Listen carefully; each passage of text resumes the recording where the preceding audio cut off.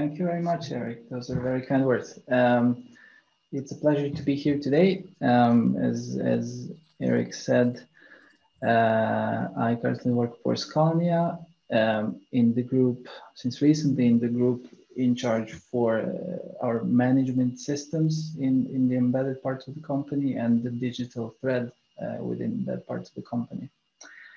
Um, and as Eric has also mentioned here, uh, let's see, yeah, as Eric has also mentioned, I probably have, uh, just give me a second, I'm very sorry.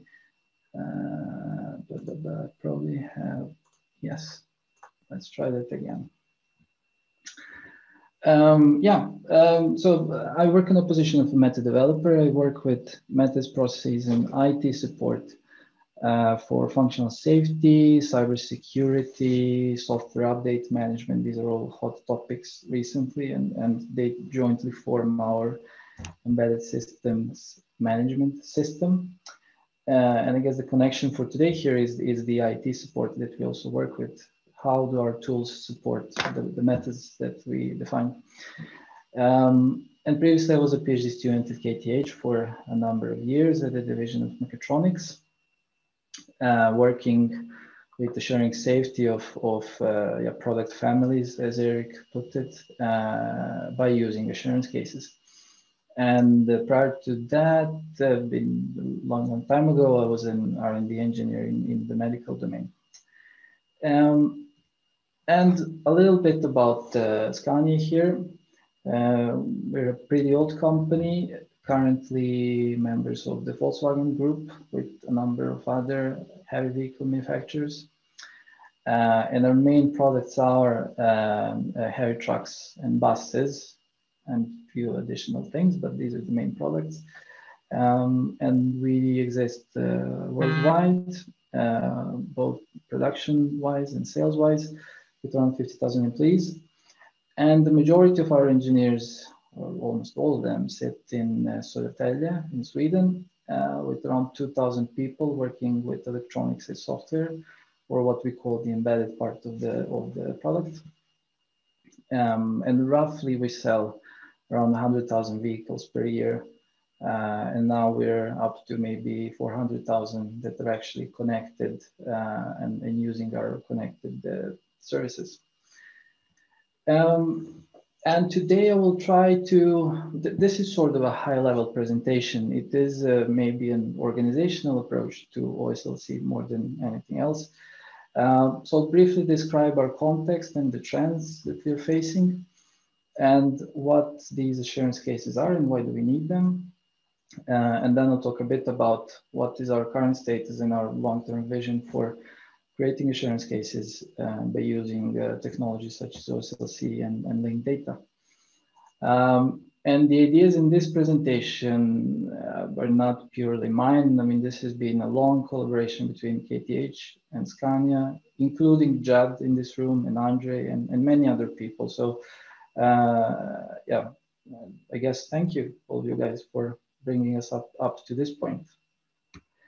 Um, yeah, so if I try to summarize very briefly what is specific about uh, Scania is, is that we don't engineer products, like specific products one by one. Uh, we engineer the, we, we design a family of products. Um, and the family is quite big. I mean, some estimates say that at any given point in time, we can produce 10 to the power of 65 of different configurations of our vehicle. Um, and that is uh, that comes from from this uh, Scania modular system and this modular way of thinking. So the electrical system of our product is modular in the sense that you can relocate functionality from one system to another. You can remove a system, you can add a system. Um, same thinking is applied uh, in the design of the chassis and the drivetrain. Uh, a truck that has uh, three axles is simply a truck with two axles plus an additional one, um, uh, nothing more than that. Uh, the buses we produce, a bus is just a truck that has a different cab on top of it. Um, and then all the different kinds of trucks are just a, minor variation of this core product line, as it's called, or as, as Eric, uh, sorry, uh, Eric called it, product family. So this in effect means that whenever you ask a question about something in Scania, about a specific system or software, you're always talking about a specific context. At which point in time and for which configurations are you asking the, the thing, your, your question that, you, that you're interested in? Um, so defining uh, the possible configurations, how they're composed of all these parts, uh, the, the, the, global configuration management that was uh, mentioned in the previous presentation, it's quite complicated and quite sophisticated. So like, I would say maybe that's one of the uh, defining characteristics of, of the Scania product. Um, and uh, since lately, I mean, we're not immune to the trends in automotive and maybe in general in industry. I mean, we have electrification, uh, we, we have autonomy, uh, we barely even sell vehicles, we sell services and transport systems. Um, and that, of course, implies uh, a need for more holistic and systematic way in ensuring safety, uh, in assuring cybersecurity, in making sure that the uh, software updates in, in the field are actually correct and do not compromise the integrity of the vehicle. Um, and then to keep up with the competition, of course, we need to deliver more often and more quickly. And, and you can imagine that all these aspects put quite a lot of strain on an already complicated way of working where you have this uh, product line instead of uh, in individual systems.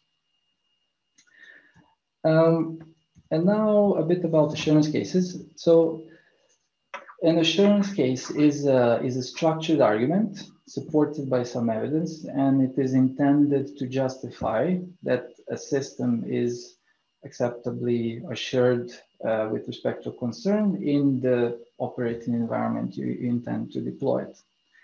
And examples of these concerns are safety. So if you want to create a safety assurance case, that would be about providing an argument. Why do you think your product is assured uh, with respect to safety in the environment you plan to deploy it. You can produce a cybersecurity case, you can produce all kinds of um, assurance cases.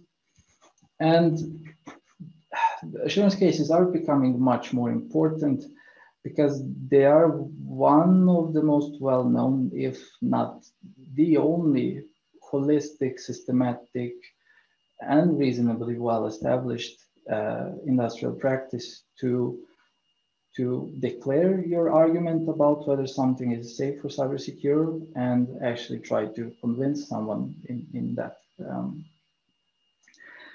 and to give you just a hint at how this might work, um, let's say that here, let's say this is a very small assurance case. And this top claim here could be software component X satisfies property Y. Uh, and then you could have subclaims. So this is your argument. It says, okay, property Y was specified in requirement specification and uh, verification reports show that the software satisfies property Y. Therefore, the software satisfies property Y.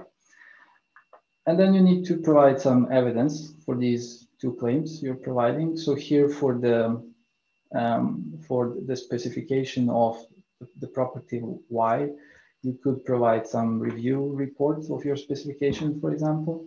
And for the, the, uh, the successful testing, you could provide some test results uh, out, out, of your uh, test management system.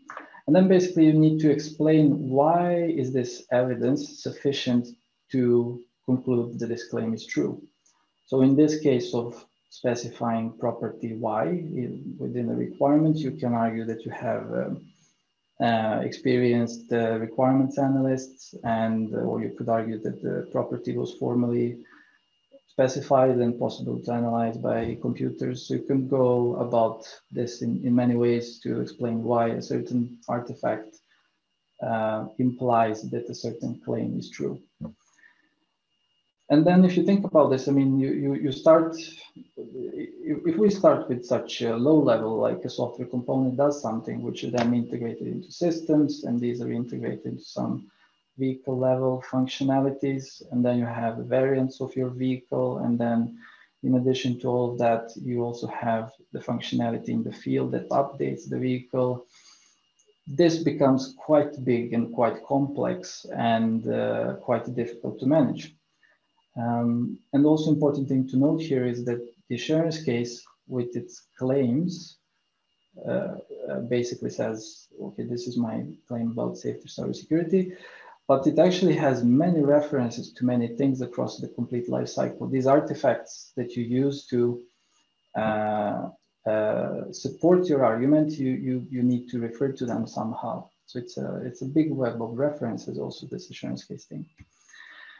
And uh, currently assurance cases are required by some standards. Um, for example, this one for functional safety or this one for cybersecurity, but uh, they are becoming even more emphasized in upcoming standards like, like uh, UL 4600 or, or the upcoming ISO 5083.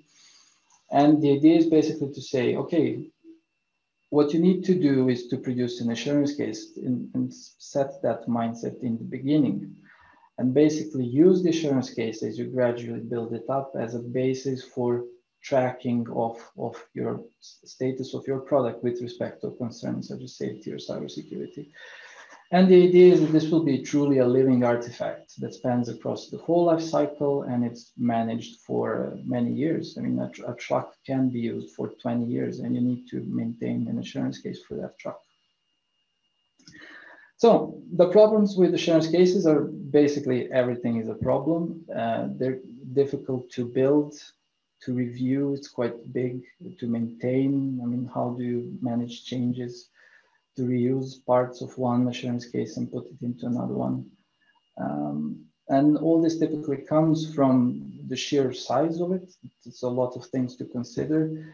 Um, and the support to structure these arguments is there is some support, uh, but you're quite free to do whatever you want as long as you think you can make your argument.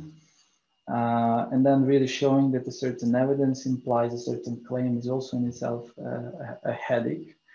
Um, so our thinking is that since we, we are required to produce assurance cases, um, to manage such large and complex artifacts uh, throughout the whole life cycle and for many years, we really need automation and, and good tool support to work with this. And this is where this presentation actually starts. now when I give you some context. Um, so first thing that we have to do, and the basic prerequisite for all of this, is to have uh, data digitalized and integrated uh, in between the tools. Um, as, as I've explained previously, this is this document is is a bunch of references to many different things. Um, and also to produce the evidence, sometimes you need to analyze these artifacts. So they need to be integrated between themselves so you could actually run your analysis. Um, and in many cases nowadays, we still have documents if we talk about uh, architectures and requirements and specifications uh, and, and, all kinds of low level data structures. And what we want to go to is some sort of a, here it says a database, but in essence, in, uh, uh, we, want, we want to transition to uh, having a, a, data set with actually information uh, that we can uh, read, analyze, refer to, uh, and use in a much more data-driven way than, than what we can do today. And the important thing is that in this journey, we need to um, eternally agree on something that we often refer to as the common information model. So basically, what are the things that we talk about? What are the relations between the things we talk about? What are the constraints over the things that we talk about? And things that are artifacts. Uh, and specify that really well and in detail, and only then we can build uh, assurance case automation on, on top of that. Um, just checking the time. Yes. Um, so here it becomes a bit more uh, a bit more detailed. So the first thing we we we we can look at the problem from this perspective. So we have the different uh, discipline tools in our company that that do different kinds of things, and uh, the idea here is to actually um, uh, provide sort of a linked data information layer. So basically, this this data set we are after that an assurance case generator could uh, query, consume, analyze, and build assurance cases uh, based on that. And a few important points here is that this information layer is not intended to be storage, so it, it will not compete with any of these tools. So it's just a representation. And once when we define how this information layer looks like, we abstract away the the, the details of the tools. So this is a completely tool independent uh, data set. And also the tools here are not aware of each other. So if these tools, two tools communicate somehow through the linked data layer, they should not be aware of each other. And then of course, uh, the semantics or the meaning of the data that we find in this information layer is defined uh, um, in a number of linked data schemas. You'll see what they talk about uh, soon. And, and the, the merge of these schemas is actually what gives us sort of this common in, information model. An important thing to, to note is that this information layer we, we create by exposing information from uh, individual tools through adapters, as, as you probably all know about. But what we do here, we only build adapters that conform to the OSLC core specification. So basically we're after uh, you know, all the services. We're not after the domain specifications because essentially we have our own and this is what these linked data schemas are, our domain specifications. Um, and the idea, and I mean, this is the, the current architecture of, of the assurance case tool, um, is the following. So here in the heart of it, we have the, the Eclipse Lyo uh, that we use to define the linked data schemas. Uh, basically, we define each adapter for each tool within Eclipse Lyo. And for those of you who have used it, we, we, we generate uh, uh, the majority of the adapter for a specific tool from the, the linked data schema we, we create in Lyo. And then that tool exposes information to the linked data layer, and all the tools do that. Now, on the other side, we have the assurance case tool. So in the assurance case tool, we need to write what our claims are. Our products are safe because this and that. Uh, but now we do it in a sort of a data-driven way. So a product is probably uh, an entity in the linked data schema. So writing the claims is actually over the elements of uh, the schema. And then we get a very tight connection between what the assurance case states and how it corresponds to the actual information in the linked data layer. Um, and then in addition to writing the claims, we also write analysis operations that we attach to the claims. And we say, okay, for this claim to be true, this property must be satisfied. And this property could be a query uh, that can be answered over the linked data layer, could be an analysis of some kind, and you will see soon what to talk about. But in essence, the assurance case tool then uh, uh, you, you can say uh, in the end, okay, please verify my, my assurance case claims, which will uh, be translated into, okay, get me the relevant information from the linked data layer and verify that all of these properties that must be true for the claims to be true are actually true. So we run some analysis in, inside of uh, this box here. And then if everything is okay, we produce an assurance case report. If it's not okay, we again produce some sort of a report uh, to indicate what, what the problem is. And a bit more detail about the, the, the linked data schema adapter. So as I said, each tool has uh, one adapter, at least one adapter actually could have many. And each adapter has a corresponding schema, so something like this. and these schemas define the, the hard constraints on the data. So whatever comes out of the, of the adapter implicitly from a certain tool must conform to whatever we have specified here. So basically classes, subclasses, relations, cardinalities, uh, and, and stuff like that. Um, that's specified here. Um, and now given all this, this is a very high level architecture of how uh, uh, our assurance case uh, tool currently works. It's under quite heavy development, but this is what we currently have. Um, so we have the Eclipse Lyo to, uh, to create the schemas, out of which we produce the adapters. The schemas are synchronized with um, a textual editor, a textual model editor that we've developed in Xtext. So a place where you can write your claims, you can write these expressions you want to verify, you can create your structure of the assurance case and so on. Um, and uh, for example, what is a safe vehicle? That is what you would write here.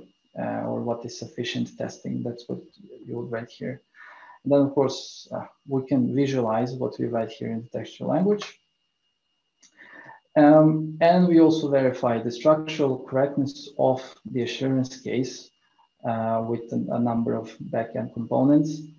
Um, since this is object-oriented, we, we basically verify the object-oriented aspect of the model plus some specific constraints we have on, on the assurance cases themselves. Um, and this textual model editor here can express a bit more constraints than what we can have in, in uh, Eclipse Lyo. So for example, here we could say, oh, I want these two attributes of these two classes always to have the same string value, um, which basically means that we have um, also a data quality checking component here. Uh, sometimes we do it internally with these backend components. Sometimes we rely on SHACL, for example. Um, Just for your info, five more minutes is what you have. Yes, yes, no problem. I'll be done in two, three minutes. Thank you.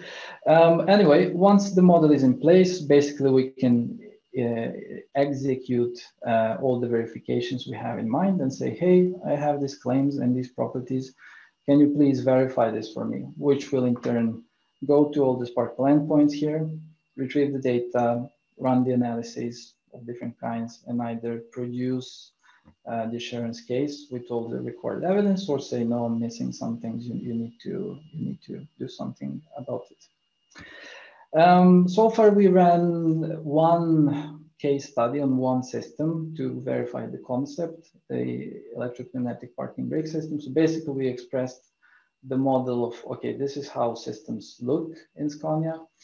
And uh, these are the claims that we want to have related to systems. And then we took one system uh, and because that's the data that we had and, and ran all the checks that we want and produced this um, uh, case structure. Each of these modules internally has has more more information.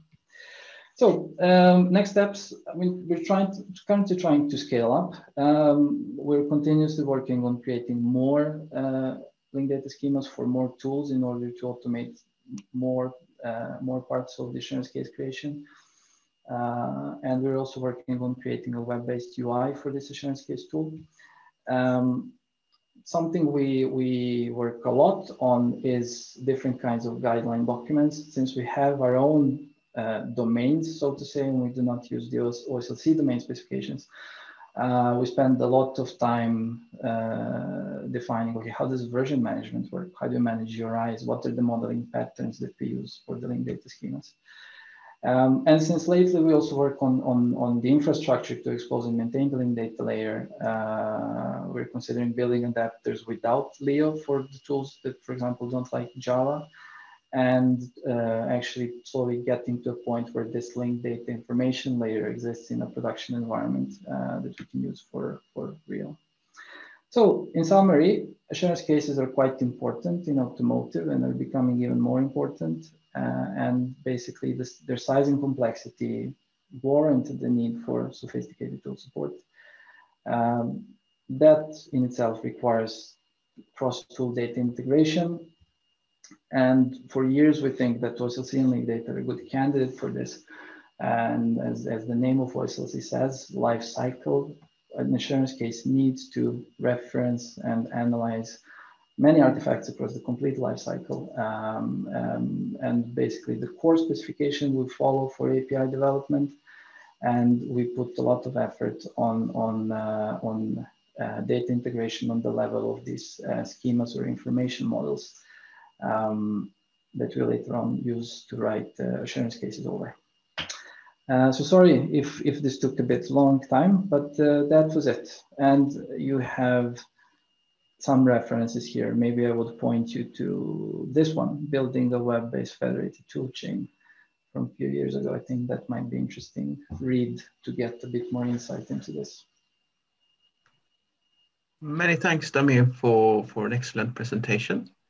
Uh, do type your questions in the Q&A. And, and in the meantime, I'm, I'm having one question regarding, uh, since you are just conforming to, to the, uh, the standard uh, or, or, or, the basic um, OSLC standard and not, not the more specific ones, are there any, I mean, can you, can you share some rationale for, for doing things this way? Or um, I would say it's um, maybe two things. One is a legacy. If, if you go into, for example, configuration and change management uh, defined in OSLC, that's not exactly how Scania does things. So that would require some hacking to adopt it.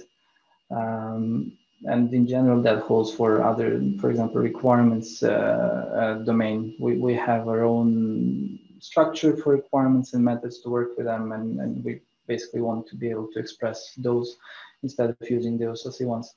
And um, I mean, that may be summarized into we want to be flexible, perhaps, is the, the key answer.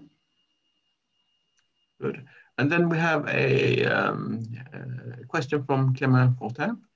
How do you integrate these with the engineering and manufacturing change management processes? Uh, well, I mean, we have we have a, a global common uh, change management method in Scania that works 98% of the time, I would say, or maybe a bit less. Uh, but the, the link data schemas themselves all depend on this common, uh, common way for change management. So essentially, the adapters cannot even expose information unless they conform to this way of um, uh, managing changes.